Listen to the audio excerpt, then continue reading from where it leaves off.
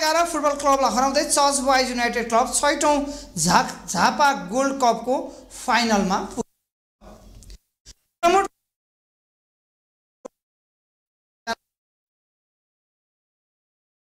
झापा एघार बिर्त लाइक चार समयमा दुवै टोलीबाट गोल हुन नसकेपछि खेल ट्राइब्रेकर